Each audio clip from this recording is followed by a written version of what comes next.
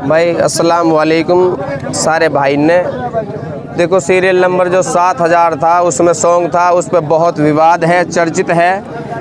और मैंने पहले भी कहा है, अब भी कह रहा हूँ, किसी के भावनाओं को ठोस पहुँचाने के लिए वो सॉन्ग मैंने नहीं गाया। फिर भी भाइयों का दिल टूटा है और भाइयों ने मुझे बुलाया है, मैं आया हूँ। ये भी अपने हैं, हम इनके हैं। तो भाई को मनाने में कोई बात नहीं है। हमने भाइयों से माफ़ी मांगी है। भाइयों ने हमें माफ़ किया है और बोल दिया आप आराम से रहो। आगे से इनशाला ये काम हम भी नहीं करेंगे और ना करेंगे तो विवाद क्यों होंगे? क्या बिजली विभाग ने आपको कुछ कहा है या ना कुछ ना। बिल्कुल बहुत मान सम्मान दिया है। जैसे आए हैं जैसे ही अपने घर के लिए रवानगी।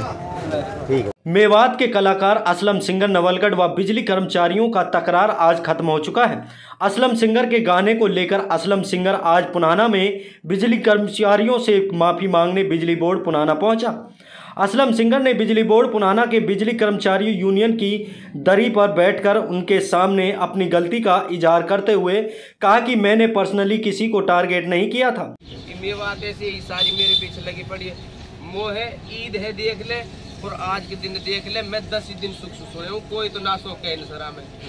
मैं ना सोए मेवन परेशानी सही बता रहा हूँ अपनी बात। मैं जा दिन जा दिन यू आपन की खबर फैली, जा दिन मैं वहाँ हूँ, वहाँ रामगढ़ के पे गाँव है वो, नंगड़ा बलैया।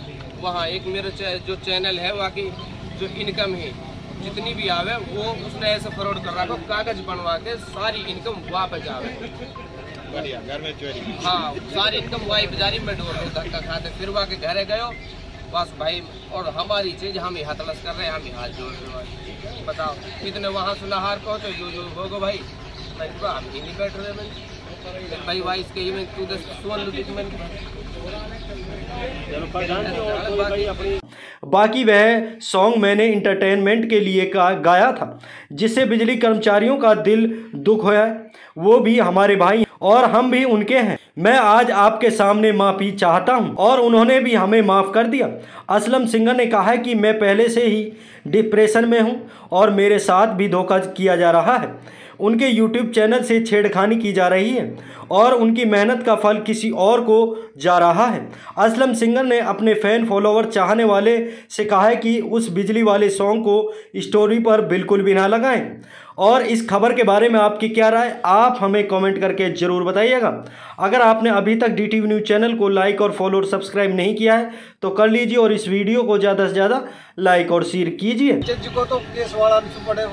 थाना वाला को, लड़ाई वाला नहीं पड़ेगा बैंक वाला कर्जे वाला नहीं पड़ेगा हमारो तो लेकर अलीब सूर ये तक सब शुरुआत तो ठीक क्योंकि अपील ये